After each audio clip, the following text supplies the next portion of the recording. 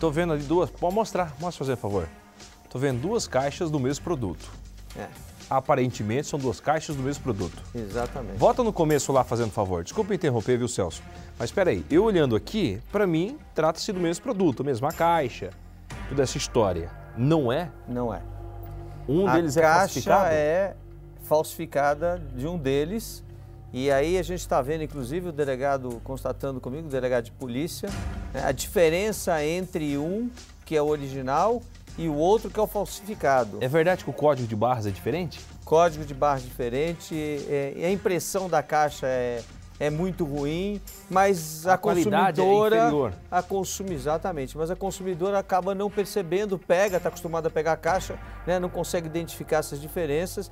A gente está mostrando, E, inclusive, a pera aí. diferença de um e do outro, olha É, lá. eu olhando aqui, para mim o falsificado é o da esquerda? É, o que tá empedrado? É, é o que está empedrado. É, porque é o seguinte, se eu tô olhando o outro que o outro tá tudo certinho, imagino eu que seja um empedrado. É, porque é um- Hum. tem o cheiro, é é, é um cheiro é, bem peculiar do, do sabão É diferente? original. O outro não tem cheiro, não faz espuma. O outro é só água de salsicha. Pois não é. serve pra nada, só isso, enganar. Isso é crime, viu? Isso é crime, porque esse produto é um produto que tem que ter autorização da Agência, de Vigila- Agência Nacional de Vigilância Sanitária. E é mais grave ainda. Além disso, quando nós chegamos no supermercado, não tinha nem cupom fiscal, não tinha nada. Essa história aí. Nada que comprove a origem desse, desse produto aí. Eu tive que chamar o delegado de polícia e nós tivemos que conduzir todo mundo para a delegacia de polícia. Vamos ver? Vamos lá.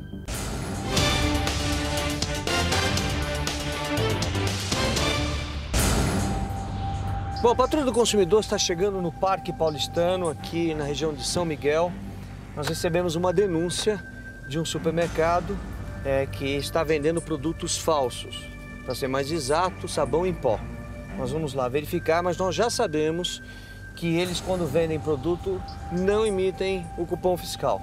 Por conta disso, o PROCON está nos acompanhando e nós já estamos chegando no estabelecimento comercial. Nós vamos parar aqui do lado direito. A loja é aquela ali. Dá licença. Tudo bem? Por gentileza, chama o gerente pra gente, ou o proprietário.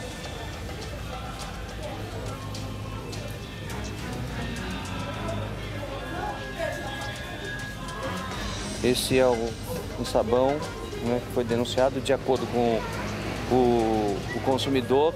Ele não tem o mesmo cheiro, não tem a, a mesma qualidade e, em tese, o sabão em pó estaria, é, estaria falsificado.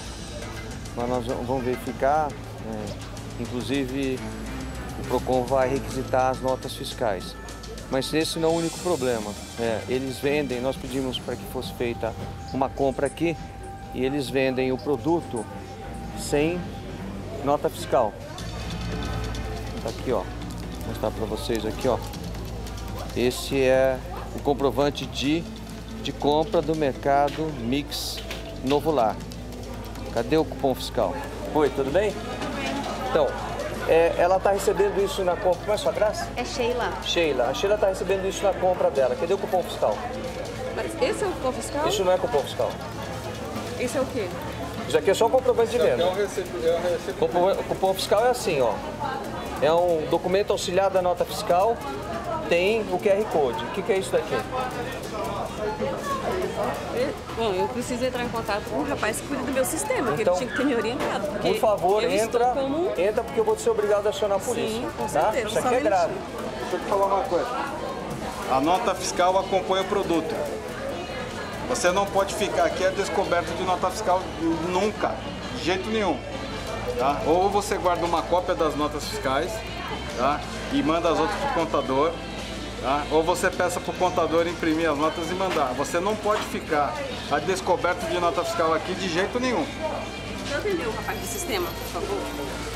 Acabei de falar com a Polícia Civil, 22º Distrito Policial aqui, o localista, que é o titular do distrito, porque não emissão de cupom fiscal é crime contra a ordem tributária. Vou mostrar para vocês, inclusive. Negar ou deixar de fornecer quando obrigatório, nota fiscal ou documento equivalente relativo à venda de mercadoria ou prestação de serviço efetivamente realizada, é, ou fornecer em desacordo com a legislação, pena, reclusão de 2 a 5 anos e multa. Então, nessa condição aqui, né, é, como vocês já viram, nenhum dos caixas tem cupom fiscal, já foi constatado pelo Alexandre Fiscal do PROCON. Né? Então, só temos aqui que acionar a, a, a Polícia Civil para as devidas providências. O que está acontecendo aqui é o seguinte, nós recebemos uma denúncia de produto falsificado. O Maca, o coordenador do PROCON, Vai. Tudo bom? e de produtos falsificados. Nós viemos para apurar isso aqui, mas descobrimos que eles estão é, vendendo todos os produtos sem nota fiscal, sem cupom fiscal. Então, os caixas todos aqui, nós tivemos várias pessoas passando por aqui, eu constatando cada um dos recibos de venda. E eu perguntei, inclusive, para a caixa e para a gerente do estabelecimento onde estava o cupom fiscal. Ela não sabia dizer, eles achavam que cupom fiscal era isso. Então, Depois que nós chegamos, é que eles modificaram não, o sistema e modificaram o sistema, mas um só que está soltando, né? Passa um produto aí, primo. Por gentileza. Tá todos emitindo cupom fiscal agora? Hã? Deixa eu ver. Oi, só um minutinho. Tá apresentando agora pra gente, ó. Cupom fiscal eletrônico. Esse sim é o cupom fiscal. Esse é o cupom fiscal. Hã? Agora, agora estão emitindo cupom fiscal. Esse é o original. Esse é o que tá sendo- Aliás, esse aqui é o que está sendo vendido É. aqui. Esse é o original. Esse é falsificado. Ó, você vê o código de barra aqui Sim, tá, é. é cortado. Tá esse aqui cortado. não, ó. Tem muito produto desse aí exposto? Tem ali. Vamos dar uma olhada lá. Ora, esse daqui é original, esse é o falso. A diferença E- do Esse é o cheiro. original? É, Tem cheiro? tem. Esse é qual? Esse é o falso. Quase não tem cheiro. Nossa, é verdade, hein? Muito diferente, né? Diferente. Bem diferente. Esse aqui é o falso. Esse é o falso. Esse é o verdadeiro. Ah, o, o- o odor é diferente e ele, o, o homo verdadeiro é muito mais perfumado, né? Sim. Foi, foi a primeira coisa que chamou a atenção da, da consumidora, E a que fez a consumidora chamou a denúncia. atenção que também não fazia espuma. Esses maiores, esse daqui, os maiores, a gente achou pouca diferença, mas não, não, não chegamos a abrir para sentir o odor. Mas nós, Mas o preço tá mais caro do que na rede do supermercado. Não. Aqui, o que for homo, nós vamos levar. Tudo que for homo, nós vamos levar. Inclusive, existe uma denúncia é, da- do fabricante no Rio Grande do Sul de fabricação do homo falsificado. Para o fabricante reclamando. O fabricante reclamando. Não, foi feita uma apreensão pela Polícia Civil do Rio Grande do Sul, inclusive. Aham. Então tem, tem procedência, né? É. E isso que chamou a atenção da consumidora e do consumidor, do marido dela. Que eles viram a reportagem e falaram, não, ficar esperto com o sabão homo. Aí quando ela foi lavar o chão, não fazia espuma nenhuma, o cheiro era diferente. Era, era compacto, né? Vou fazer um teste aqui. Esse daqui é o que a consumidora diz que não é original. E esse daqui é original. Ela diz pra gente, o produto, o produto é empedrado. Esse daqui é o falso Aham. e esse daqui é o original. Pra... A textura é diferente. Totalmente diferente. Até a coloração um pouquinho diferente. É. Tem também, tem produto vencido lá? Encontramos, tá ali, tinha. Já, é, moída. Data vencida? Tinha fígado e bacon vencido na vitrine. Na vitrine, né? Essa era a carne que estava em exposição.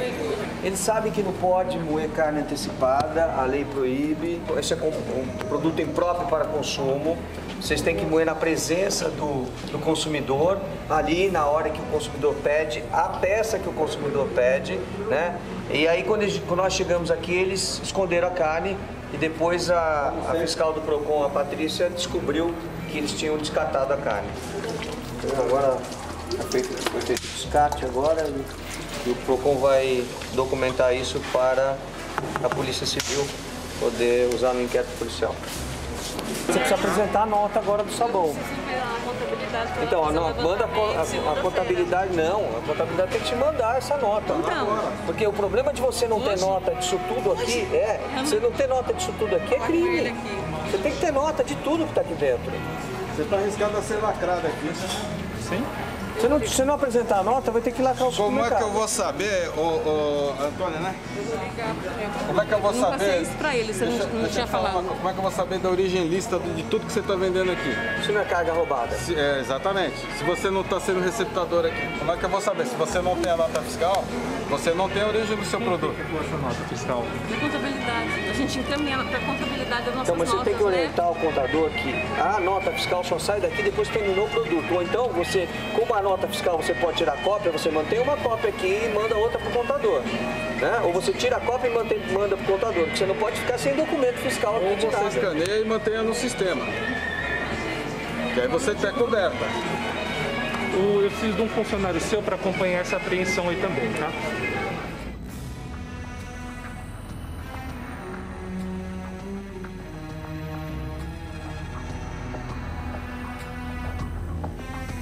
Você não vai conseguir as Eu notas não hoje? consegui falar com a contabilidade.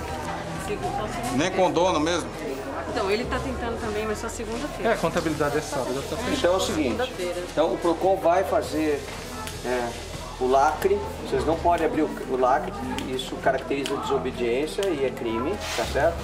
O seu mercado vai ficar lacrado até na segunda-feira, eu já pedi para vocês conservem tudo que é de refrigerado, de carne, e vocês têm ali fracionados também, por acaso? Na geladeira? É. Não tem legumes, essas Não, então o que. Então põe para conservar. Na segunda-feira apresentando a nota fiscal para o PROCON, aí o PROCON vai liberar o, o funcionamento, tá certo?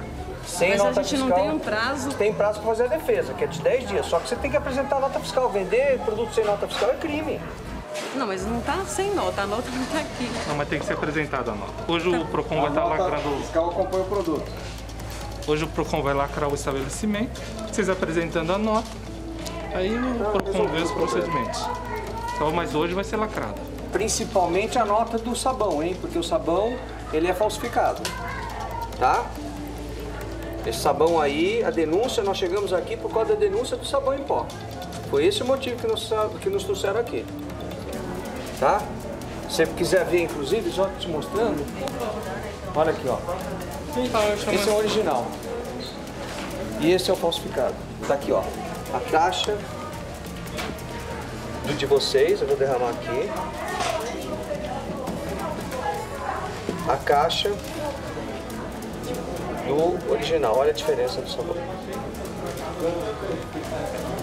Pode cheirar, inclusive, você vai ver a diferença. Mas, além disso, você pode ver que aqui a inscrição dá para ser lida. Você tem o código de barras aqui que você tem como passar. Olha aqui o código de barras desse daqui, ó. E olha a inscrição. Código de barras cortado e aqui muito mal impresso.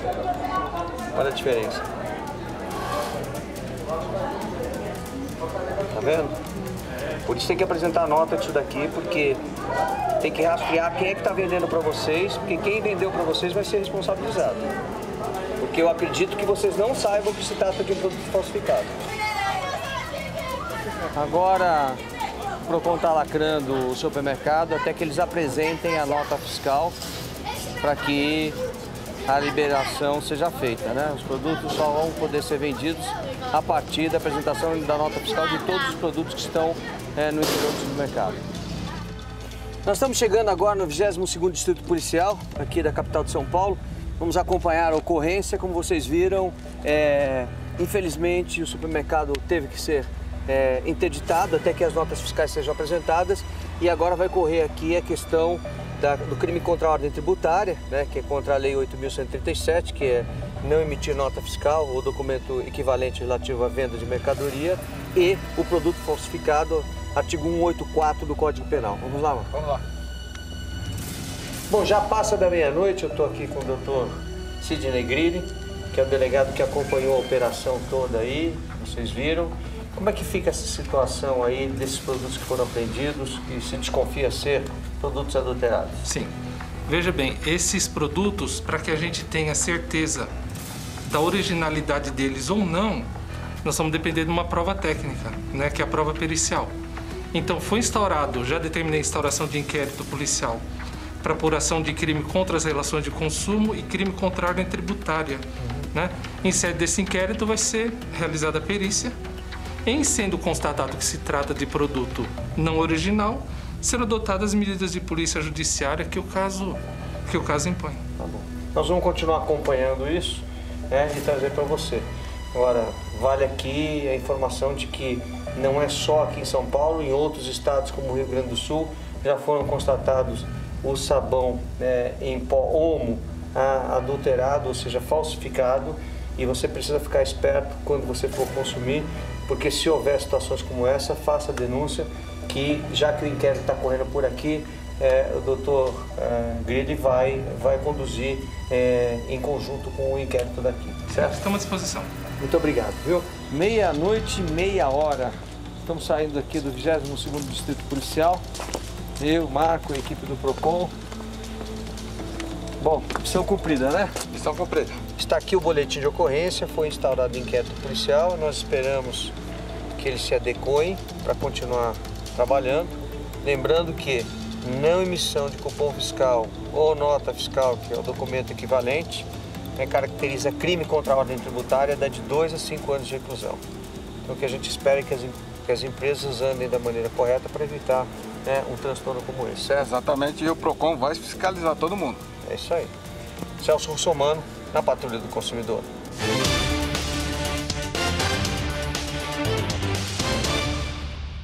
É isso, meu amigo.